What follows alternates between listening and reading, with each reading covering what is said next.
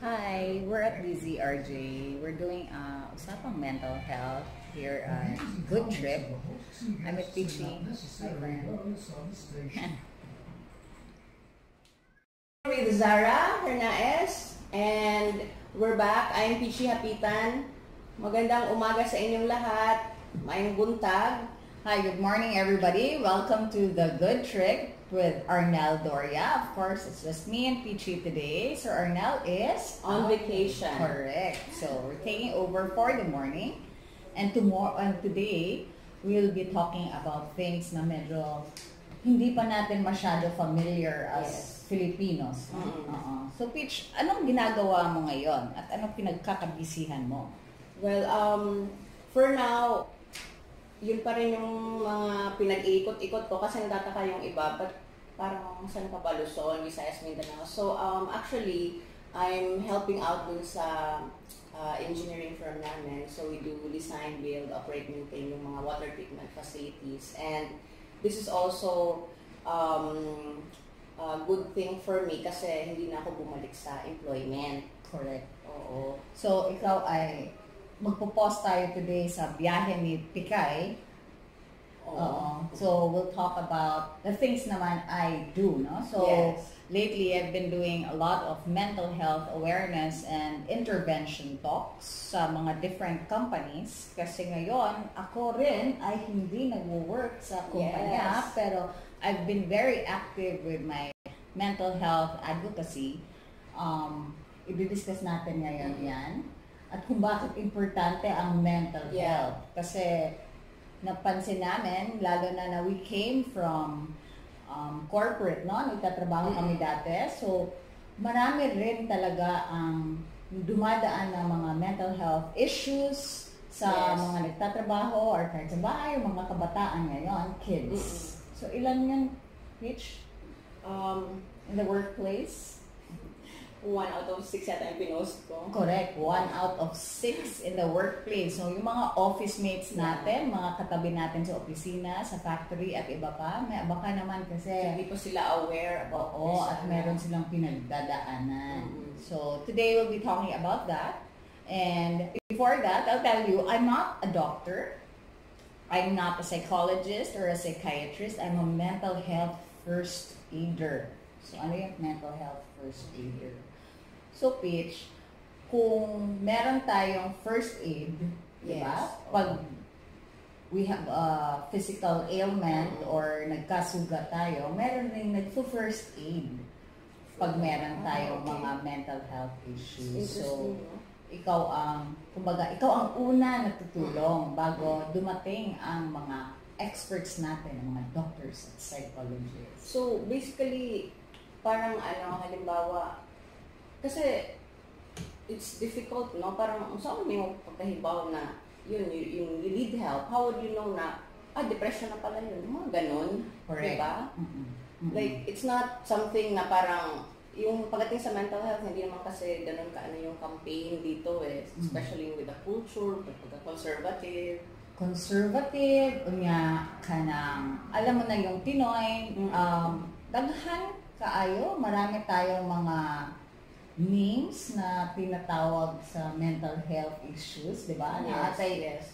mga iba-ibang mga tawag na usahay or minsan nakakasakit sa Mm-mm. ibang tao or nagki-create siya ng stigma. So, yung mga tao, takot na sila makipag-usap about their issues. Baka kasi tawagin silang, anong example natin Um, Krung-krung. Oo. Ayan. Kung ano-ano na lang. Alam mo naman yung Pinoy. Kung ano-ano lang pinagagamit Yes. na mga labels, no? Or, kaya parang takot sila mag-open up about um, Correct. Kasi ayoko naman tawagan ako ng friend ko, ng nanay ko, ng patatay ko. Tawagan nila akong, uy, nababaliw na. Mm-mm. Or krung-krung siya. Or praning. Or loko-loka. Ma- nabuang. nabuang.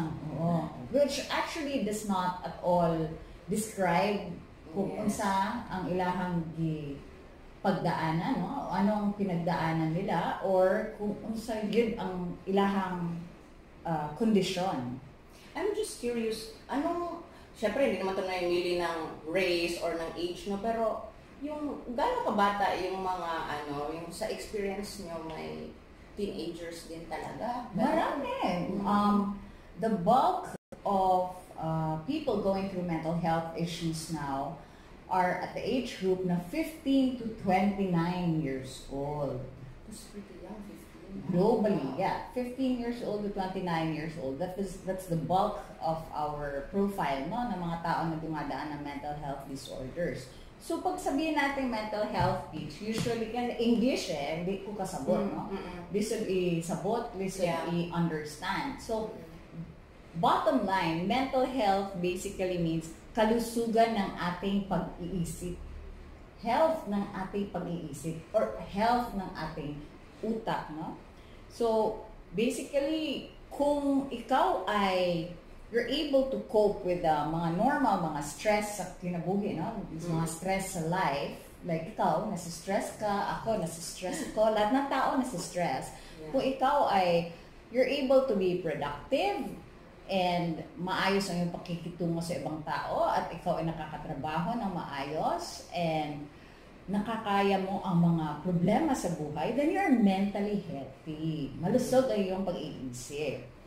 Hindi ka na overwhelm. Yeah. So, marami naman kasing stress. Anong stress mo? Ngayon, ano, yung pag tinatanong ako, kailan kayo kakasal? Oh my God.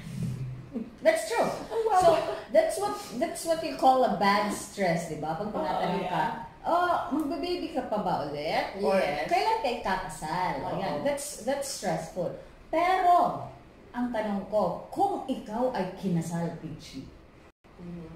masistress ka pa ba? Or stress pa ba ito? O hindi? Hindi ko alam. Ay, kasi hindi ka pa kasal. Ako, married na ako. Pag happy ka sa married life mo, edi okay.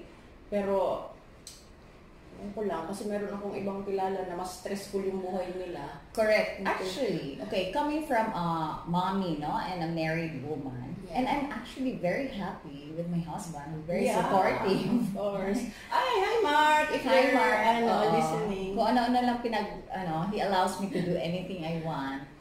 Nakalokohan. Supportive siya, no? Di ba? Mm-mm. Kanang stressful pa rin ang Mm-mm. may asawa at may mga kasal at parang ano, kung ikaw ay walang kotse at nagko-commute at nagje-jeep at nagta-tricycle at mag-MRT araw-araw, stressful. Mm-mm. Pag ikaw ay may kotse, ikaw, alam ko to, uh, you're a car girl. Kung ikaw ay may kotse, stressful ba? Oo, kahit pa paano, stressful pa rin kasi yung kita naman yung traffic, yung mga ugali ng mga kapwa driver natin dito, Mm-mm. road conditions, ganyan. Maintenance ng car, Mga gastos, gastos, ayan. gasolina, may Correct. ganyan. So, ang ating utak kasi, Peach, hindi siya, ma- hindi niya alam kung Mm. good ba yun na stress or Okay. bad siya ng stress. Okay. So, stress is stress. Yes. Kumbaga, kung ikaw ay nahihirapan, nahihirapan ka at ang utak mo ay nasistress, no? Or um, may pinag pinagdadaanan yung utak natin na nakikipag nakikihuna-huna, Mm. nakikiproblema. So, wa man nakibaw atong brain speech kung naa ba kay outdoor, why outdoor, di ba Dito. nakita imong Mm-mm. brain, no? Pero ang iyang nakikita lang ang stress ra. So ang atong utak usahay wa ta kibaw nga nasubraan na di ay na overwhelm na. So ang problema, our brain is actually controls our whole body, Yes. di ba? So, ma-affected yun ka na. Oo. Ay, mag mukmuk na lang ka, maghilak-hilak sa sa corner. Kay ang imong brain mo man ang control sa imong emotions, Can't sa imong function, ano, yeah, imong properly. paglakaw, Mm. mura bag ka nang kumahadlok ka og heights. Di ba ka or ka mga taas na lugar, matataas na lugar, mahadlok ka. Hindi naman alam ng brain, hindi alam ng brain mo na dapat ka matakot. Yes. Pero hindi alam ng paa mo. So yung brain mo, nagko-control ng paa mo. So nanginginig tuhod mo. So, affected talaga yung sleep mo, Yeah. yung appetite mo, di ba? Correct. Correct.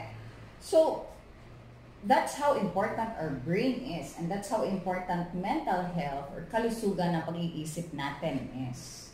Pero meron tayong tawag natin mental health disorder. Iba din yun. Dili na siya yung murag, ay, problema ako sa mga utang ko, paano ko babayaran? Hindi naman siya ganun. Normal mga love life na mga toxic, ganun. Correct. Normal. Hindi, yun. Tama. Normal naman na mag, ano ka eh.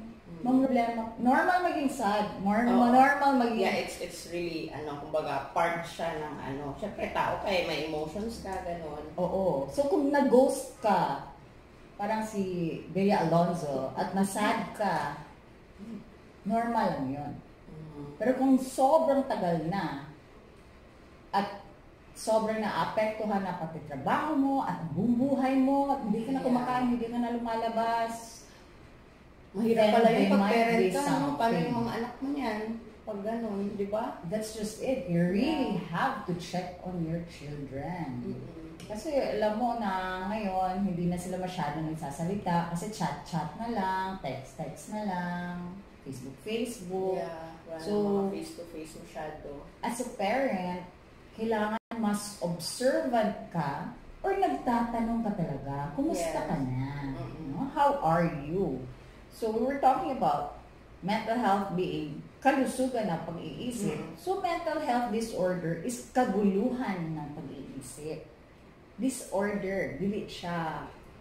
Diba? Okay. Wala siya order. So, So- nakaka-apekto talaga siya ng emotions mo. Kung saan na siya ka ng, there's a period of time na parang alam mo na, ah, yan, disorder na talaga yan kasi nagsasuffer na siya for like, ano ba yan, ilang weeks or years, months. Correct. So, we were saying, normal ba yan? Mag-sad ka. Mm. Normal. Mm. Kung ako ay namatayan ng aso, ako ay malulungkot. Yes. Iiyak ako. Mm-mm. Malulungkot ako. I will grieve. Maghaya ko, maglilubog pa na ako as in. Kay, you know, I really love my dogs, no? But, if more than two weeks na ako na hindi talaga na ako nakakabangon kasi sa sobrang iyak ko at Isolate ba? nalulu, oo, hindi, nag-a-isolate na ako. Yun ang mahirap eh, nag-a-isolate. Tapos wala akong kinikwentuhan. Wala kang gana parang for life, no? Like, wala kang ano to go on and and even probably brush your teeth or do anything at all. If you get really affected, that's what happens. And then you probably hindi ka ganahan maligo or nothing. You just don't want to do anything. Yeah, or you don't have anyone to To talk talk to. to. That's the difficult part now. Mm-hmm. You, when you don't have anyone to talk to and you don't have anyone to make sure that alam mo yung parang ikaw because you're a very good friend of mine. If I go through something and you know that there's something wrong, you're the type of friend who will go to my house, Yeah. correct? Mm. Birahon mo, birahon ko nimo, Oh, yeah. I You'll pull agree. me out and you'll tell me, Zar, lumabas tayo, magkape tayo, manood tayo ng sine, whatever. Oo naman. Yan. Feeling ko nga kung ayaw mo magpa, magpahila kasi hindi rin kita kaya, baka buhusan pa kitang tubig. Correct. Exactly. That's the kind of friend that we need when we are going through something Mm. na hindi mo na talaga kaya. Kailangan mo Minsan, ng friend ano lang na- talaga, no, yung kay, you just need someone to listen, to talk to. Yung hug is very helpful, ha? Correct. So, a hug is very helpful. Really being there, supporting Mm. them. Kay, sa sobra ka problema, for example, ko ako lagi, si Bakulayo, Mm-mm. Something happens to my dogs, di ba? Mm-mm. Kung, kung, ah, kung ako magka-problema ng ganyan, then you will really pull me out of it. You need someone who will help you, support you, pull me out of it, kahit matigas ang ulo ko. And you will be there and you will be patient. The same way, if something happens to you, God forbid, I will be in Tarlac. Girl, I will, I'll be there. I'll be pulling you out of it. I'll help you. I'll bug you. I'll sleep at your house.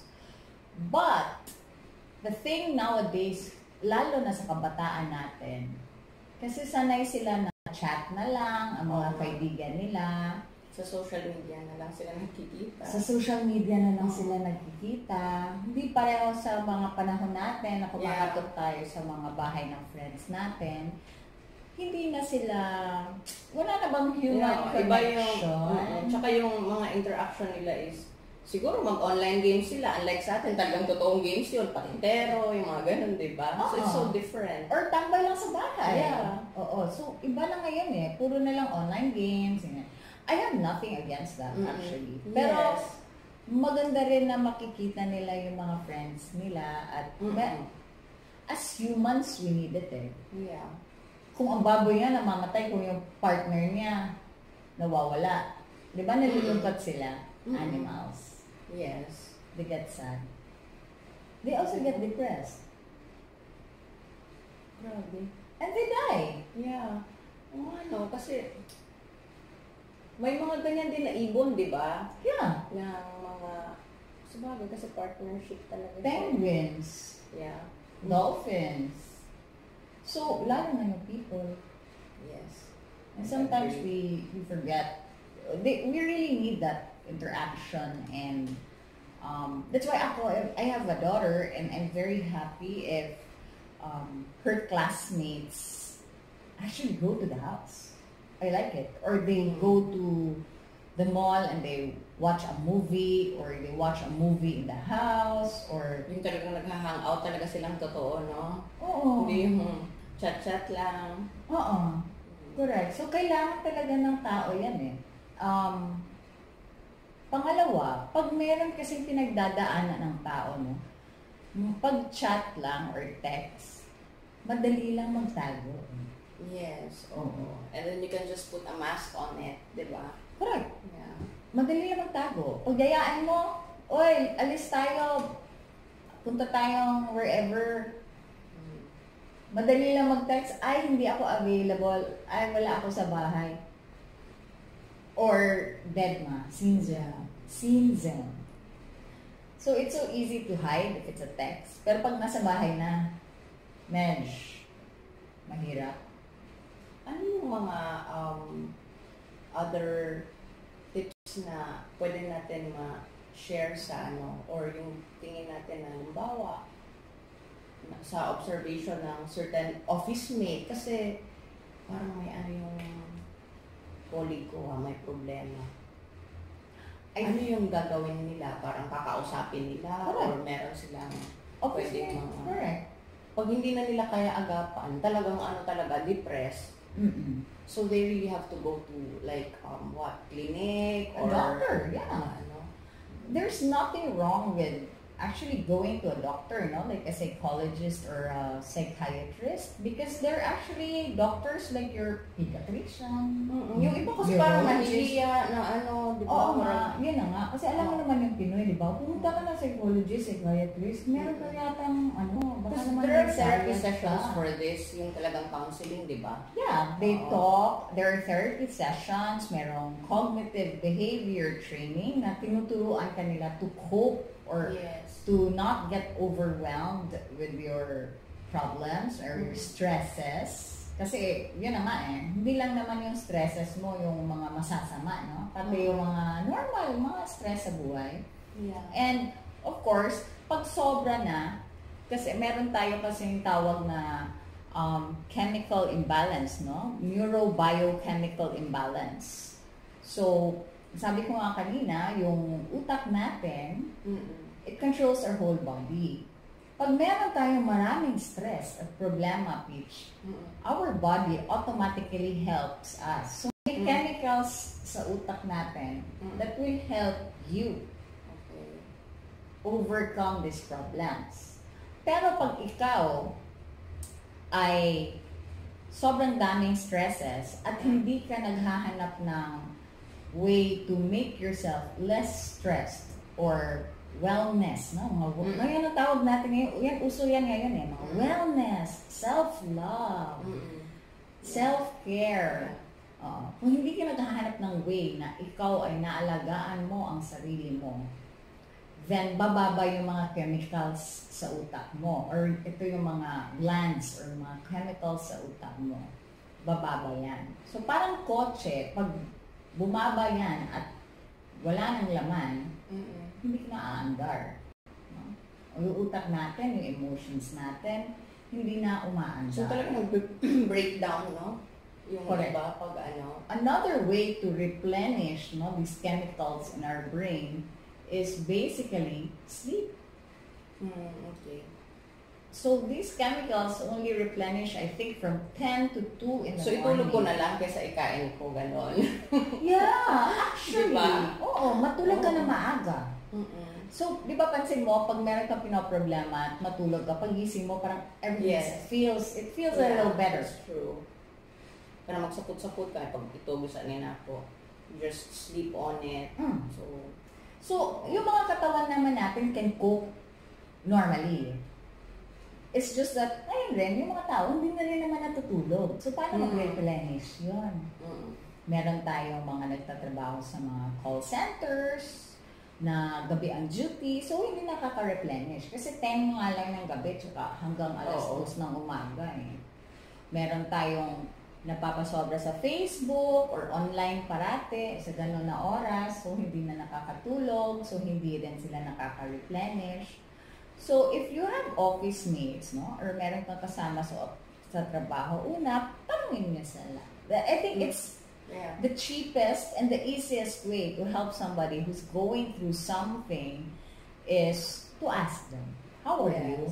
Kumusta ka na? Uy, parang okay ka lang. Mm. Ngayon kasi, wala na tayong paki masyado, no? Wala. problema. Oo.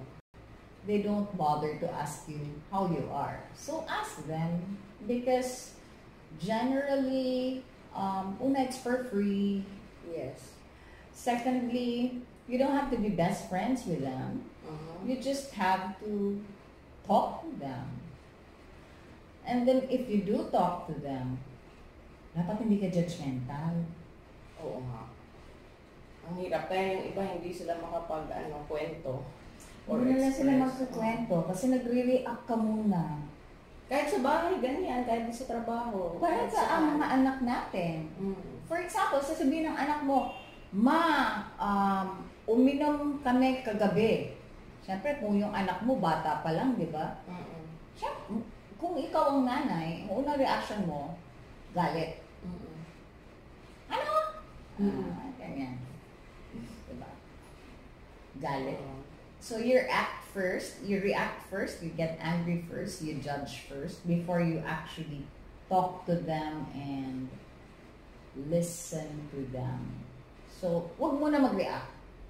Mahirap, no? Mm-mm, mahirap. Lalo na pag anak mo, no? Oo naman. Naisip ko nga, paano kaya yun? Like in your case, paano ka mag-react? Kasi alam mo, part yun ng, parang pinapractice mo yun eh. Yeah. Practitioner kumbaga ka sa ano, Yeah. di ba? And then, oh nga, how do you become like, um, what do you call that? A mental health first aider. Parang, ano yun, nag-decide ka, you take also these seminars and workshops. Yeah, correct. So, um, I had to take a certification, which- Mhm. which is not available here in the Philippines, but I think the DOH, good thing we have Republic Act Yes. 11036, no? Which is the Mental Health um, Act na it was rolled out last year and um, the Department of Health is doing trainings now to help other people. So wala ka naman talagang tawag natin superpower kung ikaw ay mental health first aider. Yung baon mo lang, pasensya, Mm-mm. pangunawa, no? understanding. And it's a lot of just listening and not reacting and just understanding the person's situation and not judging. And it's difficult if it's your own family and it's your own friends, most especially, because your tendency is really to react. So if it's my own family, Mm-mm. I step back. I keep Yeah. quiet, I listen, and I step back. Because otherwise, lalo na sa mga bata, no? kids nowadays, or actually kids in general, even when we were kids, if Mhm. your parents will react and get angry right away, yung tendency mo, hindi, hindi ka na magkakwento. Hindi na like lang what's going on sa school, if they got bullied or peer pressure, yung mga gano'n. Tapos ngayon, napansin mo yung may mga gender, ano pa, crisis yung iba because of this, yung, yung, Sa CR. Ah, oo, Mhm. ano ba yun? So, exa- that's a good example. If they get bullied in school, no? And then sasabihin nila, Sabi anak mo, sabi niya, ma, binubuli ako sa school. Yung reaction mo, usually, Masuko. Galit masuko. Galit ka, di ba? Bakit ka magpapabuli? Mm-mm. Para ako namang hindi ko anak. Ah, sta, alam ko.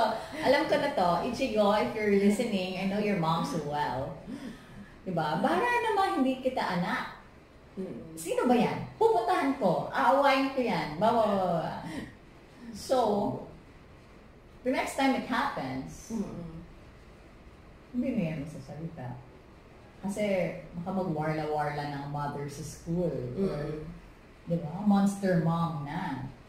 So, they would rather just keep quiet instead of trying to find out bakit ka na bully. Um, Parang sa kanila, magkaka-issue na naman. Bakit banggitin pa? Uli, ikaw pa may kasalanan. Ang bata pa yung, may, yung binuli pa may kasalanan, di ba?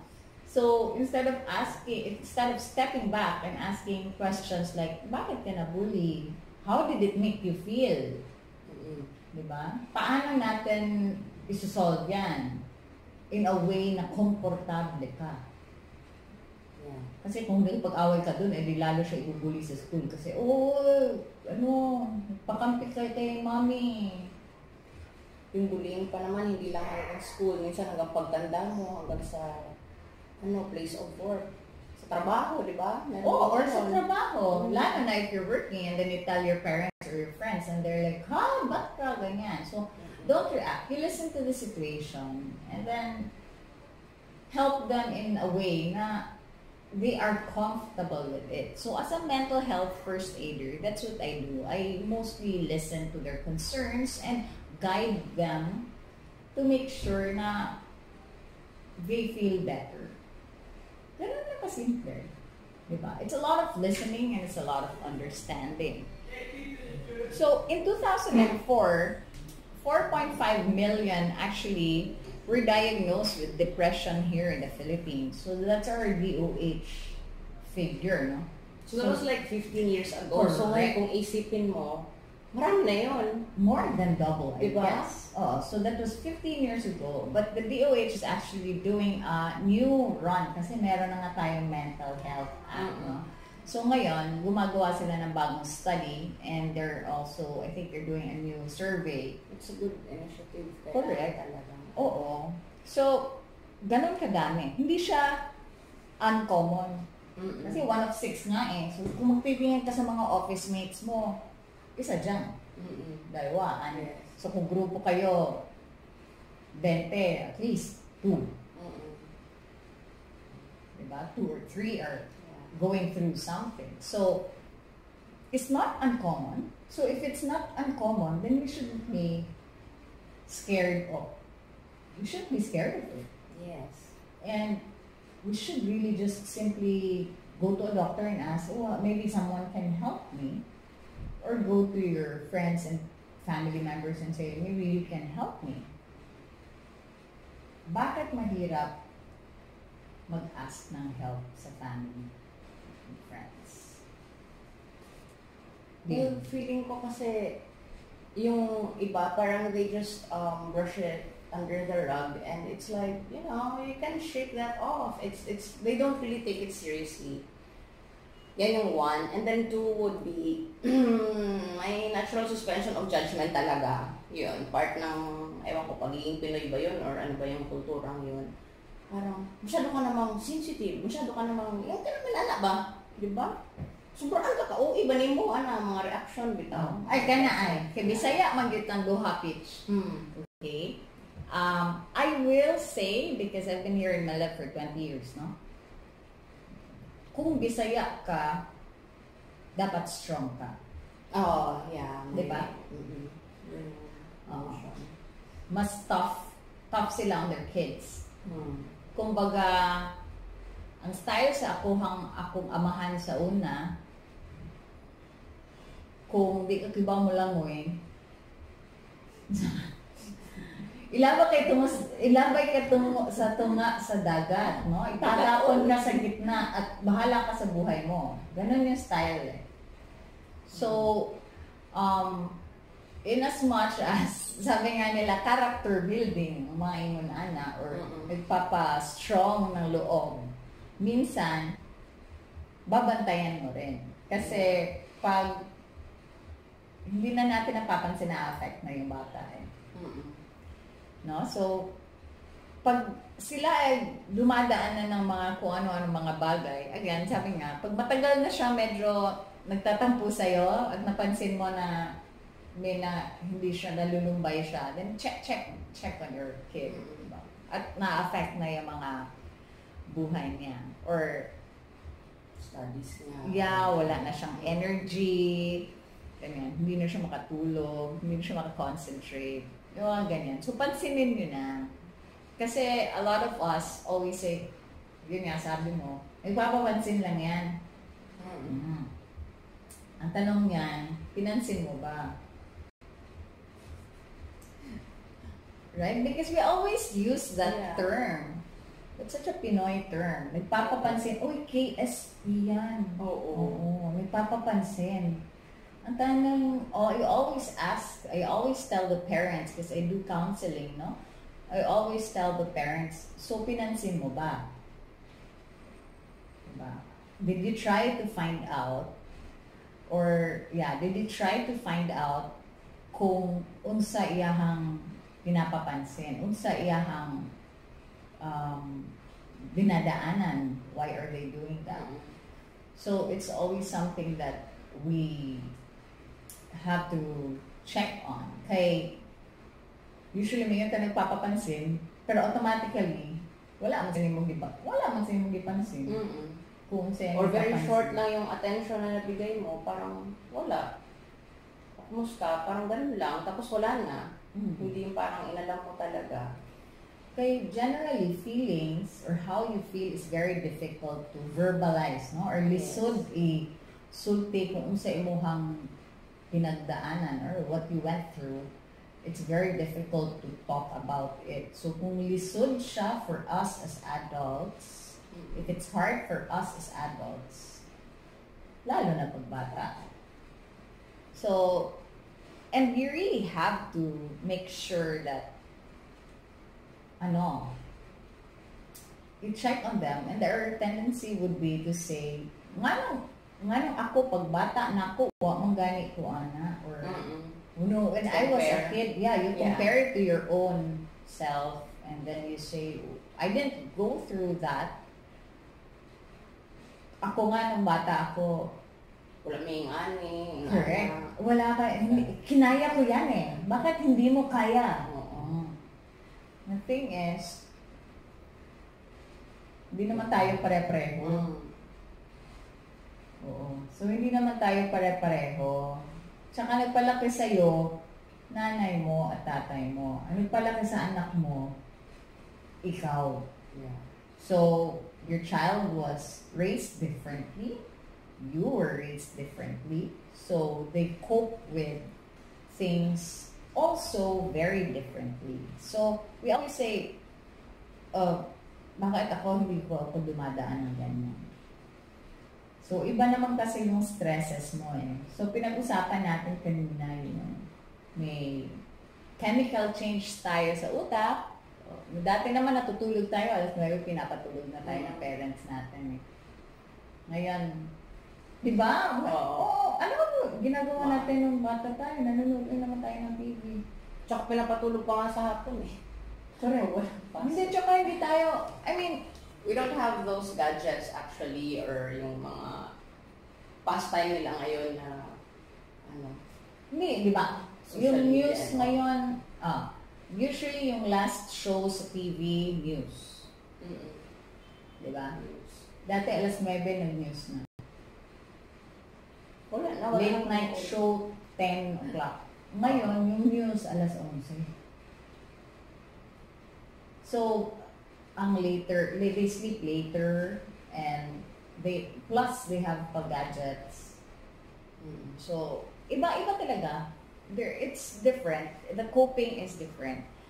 Another thing, no, aside from the chemical change in the brain, no, parang hin- hindi natin nare-replenish ang mga bagay sa utak natin na kakatulong sa atin to be healthy in our uh, head or in our brain and the stress that we go through is genetic predisposition. So, meron talagang iba who are genetically prone or kumbaga, naslahi nila na they get depressed. So, minsan, it could be that and the stresses. It can be the chemical change and the stresses or it can just be all stress. So, iba-ibang reason. So, pag may marinig tayo na depressed siya, it's usually a mix of all.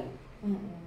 Hindi lang isa ang rason. Mm. So, we can't blame the person for going through that. Hindi natin siya pwedeng sabihin na, oh, kasalanan niya yan. Hindi naman niya choice yun eh. So, namamana pala talaga yung ano, no? Hmm. Just like everything else. Yeah. You can't blame the person. You really can't. We react to things very differently. And you can't blame the person. Hindi naman niya choice yun. Bakit choice? Bakit? Sino gusto na malungkot? You don't choose to be unhappy. And a lot of people say, nasakit mayaman lang daw. Mm-mm. Do you believe that it's sakit mayaman pag merong depression at mental health disorder? Well, to some extent, siguro yung perception lang sa mga bagay-bagay, kaya nasasabi ng iba yun. Pero, I don't think so. Kasi, lahat ng tao talagang ma- may pagdadaanan eh. No matter how, ang hirap na kasi halong subjective eh. Sa iba kasi, it's a big deal. Mm. Then to some, because hindi ganun katindi yung EQ, medyo weakling sila, Mm. sorry, pero 'di ba? Iba talaga. So, I think to each his own, may kanya-kanyang ano talaga yung level ng yung sa tolerance ba. Mm. Some are really quick to recover, they can cope up, pero some are hindi lang talaga ganon. Medyo may pagka-slow, but I don't think we should ano, parang mas maganda tulungan yung mga taong ganon. Yeah. 'Di ba? Kaysa pulling them down. Ando na nga eh, 'di ba? Pinaano mo pa. Ako personally, una, I think people say it's sakit mayaman because mental health is in English. Bitong, you know, odd, no? That's why I always say, when, when I'm, I'm giving a talk, no, I always say, it's kalusugan ng pag-iisip. Because it's more understandable. Mm-mm. And apart from it being in English, the thing is, usually it's caused nga by things na, like lack of sleep. Mm-mm.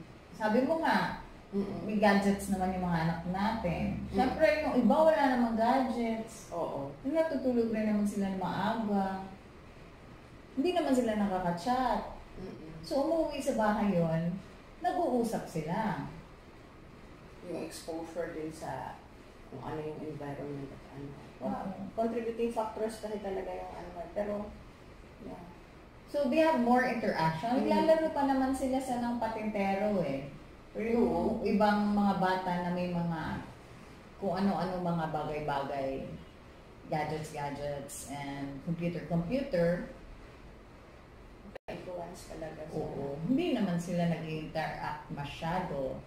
So again, we still need that human interaction. We need people to talk to us, real people like you, Mm-mm. Diba? Somebody you can touch, somebody you can hold, and someone na tumatawa lang kayo. So, it's really important that we, we check on them.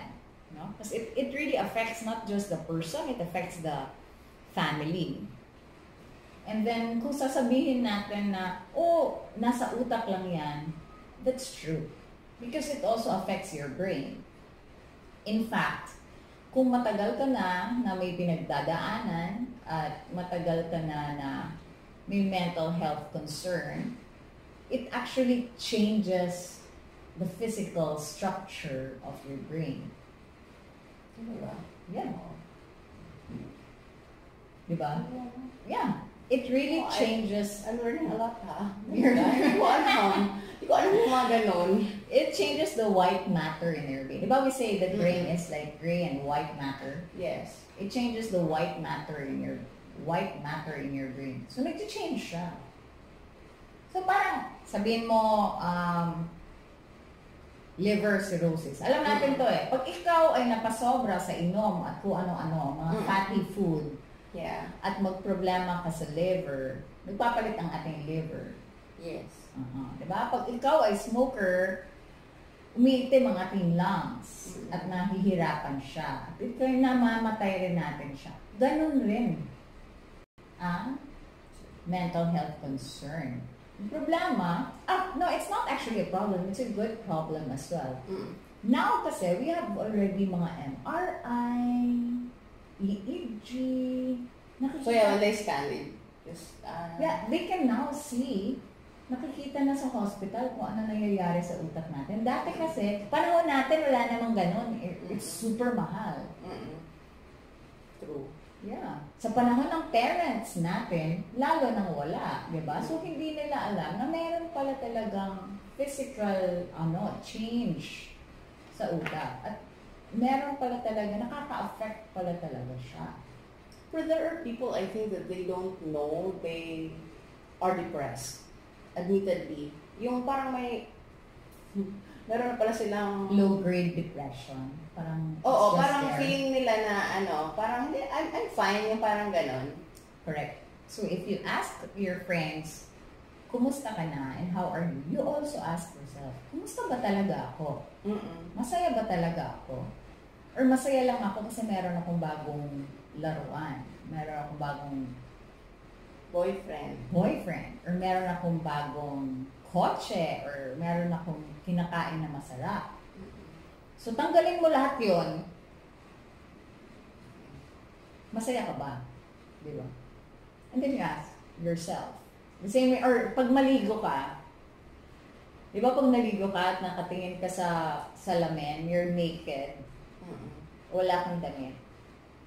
Nothing. That's you at your raw, Mm-mm. raw state. You ask yourself, am I happy? If you're not happy, you ask yourself, why? Maybe you can talk to your friends and your family about it na maybe um, hindi ka merong kulang sa nangyayari sa'yo. Or you count your blessings. Yeah. Dapat talaga grateful ka rin eh. Hmm, that's very important. Yeah. You count your blessings. You ask yourself, oh, I'm not happy because ganyan, but I have a loving family. Yes. I'm not happy because I probably don't have millions and 1000000s in the bank. But, ang bait ng anak ko. Mm-mm. So, you really have to... Napaka-importante yung positivity, no? Yung like, you know, doon ka talaga sa good vibes na side, think positive, kesa sa lahat na lang may nakikita kang mali or negative. Yung may mga ganun din kasi na ano eh. Mm-mm. Di ba? So, siguro guys learn to appreciate din, even if it's like yung the smallest of things. Kasi yung iba parang overthinking or overanalyze ng mga sitwasyon or mga ano, di ba? Or like, hindi pa siya nangyayari. Tapos kung ano-ano ng worry, ano, mga anxieties kasi yung nag-build up eh. Gagaganon tayo. Di ba? Yeah. Kaya nga eh. us, we kind of think like 10 steps ahead of Mhm. everything. So it really, if it worked for people like like you in my life, no? And I don't have anyone to talk to, mahirap. Paano na lang yung iba? Mm. Wala talaga. And I've, I've met a lot of people who don't have anyone to talk to. They don't have anyone to share these things with. So basically, yung reasons nila is, ano, parang meron talaga silang fear of parang ano yung pag-open up. Kasi I'm sure they know some people in their life, pero hindi lang talaga sila comfortable ba? Mm-mm. And that is why I'm very, um, I feel very passionate about the mental health um, situation in the Philippines because as Filipinos, we're not used to talking about our feelings. Yes, tapos yung iba walang acceptance, alam naman nilang yun yung talagang nararamdaman nila na ano, di ba, parang maulaw pa Jude. Mm. Wala namang masama, di ba? Mm. Oo. So ako, mo ana gid ko, okay ra. Kung lalaki ka, imong feeling dili ka macho kung makipagstorya ka og tao nga na kay Mm.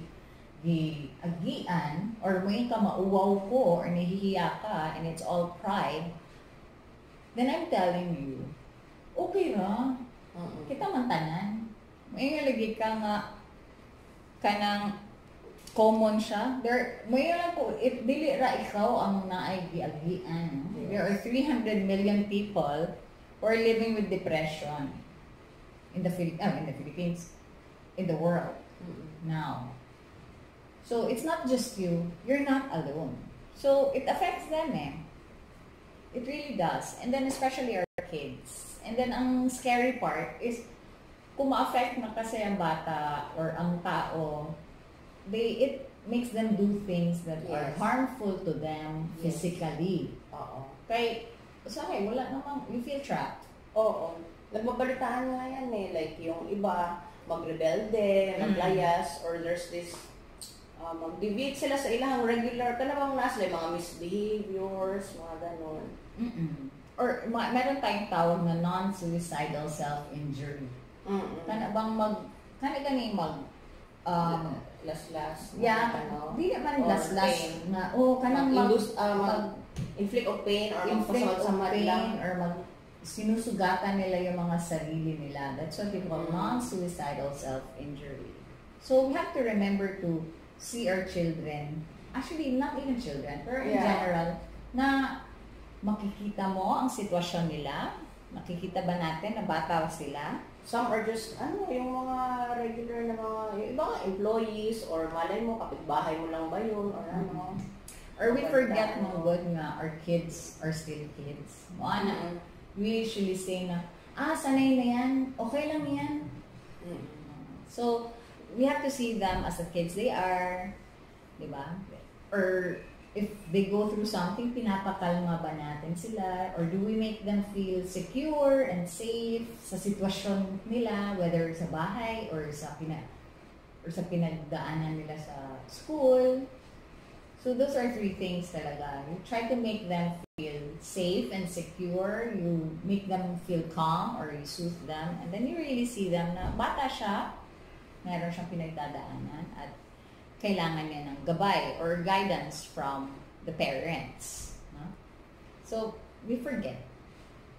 Kasi usually nagmamadali tayo, di ba? Busy sa work, mainit ulo natin. So, we tend to forget that um, these are still kids.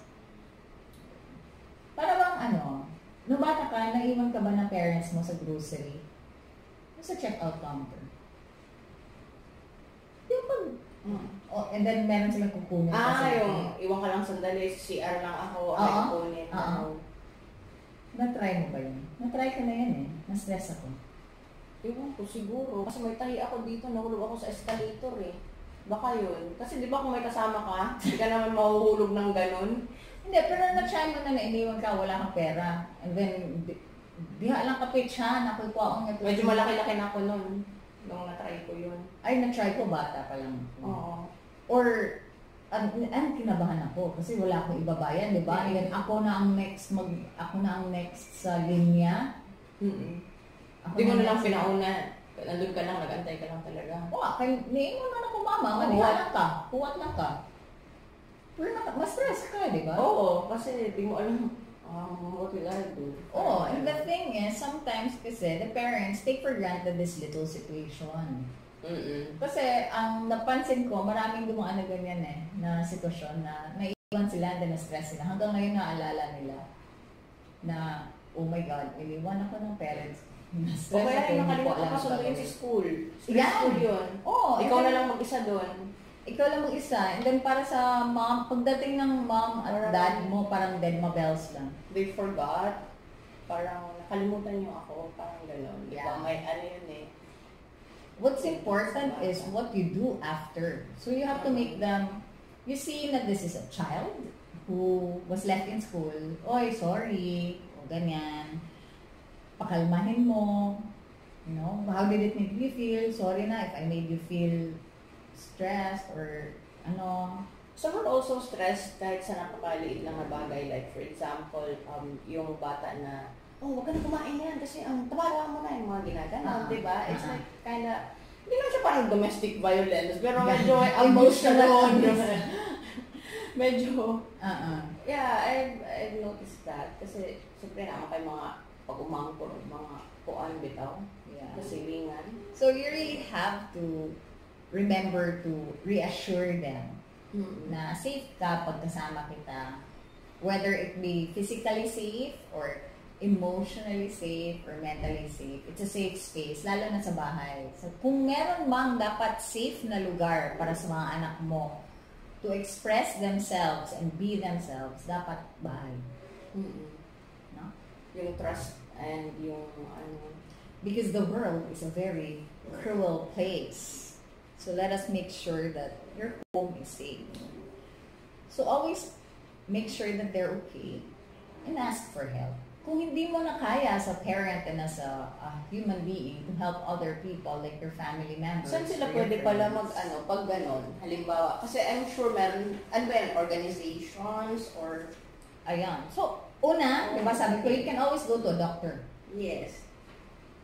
You can always go to a doctor and they can refer you. No? Or you can call the Philippine Psychiatric Association at 635, this is here in Manila, 9858, and ask them where is the nearest psychiatrist na you can visit. Or, Ah, okay. So they also have free services. So can I share this pala? oo, kay So- mahal man mo at Dr. Peach. Oo. Mahal, mahal mag-doctor. So later, i-post lang namin to. But there are free services like sa Philippine General Hospital, yung PGH, Psychiatry and Behavioral Medicine Department. So ano to, second floor, Ward 7. I'll, I'll ano, mamaya, yung numbers. And then, what is this? The wait is long. So talagang ano ha, maraming tao. Marami. And there are a lot of hospitals already that are like, um, there's one here, East, East Medical Center.